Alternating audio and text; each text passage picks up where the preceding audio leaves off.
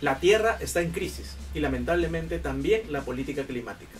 No podemos estar en pleno 2021 y tener algún partido político que se presente para las elecciones y no tenga medidas concretas sobre el medio ambiente. El año pasado, el presidente Francisco Sagasti elevó la ambición climática del Perú de 30 a 40%.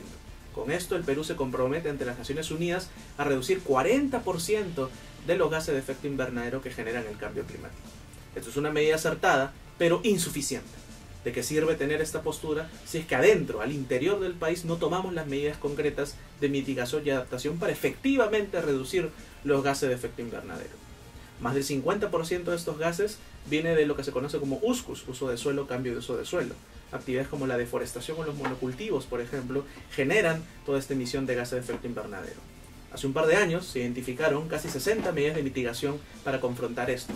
Lamentablemente, esto no se ha actualizado necesitamos que el Ministerio del Ambiente actualice este bagaje de medidas de mitigación para efectivamente lograr la reducción de ese 40% de gases de efecto invernadero. Quiere que entre el gobierno, tiene que presentar estas medidas.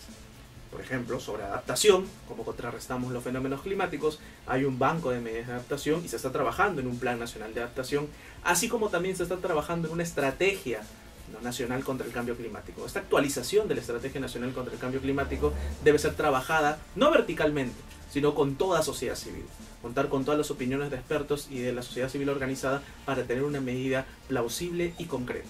Requerimos que este tema sea tratado por técnicos de verdad, por personas especialistas en el tema y darle la importancia que se merece a este tema porque atrás del mismo están derechos fundamentales de todos nosotros. Nuestra salud y nuestra vida está en juego.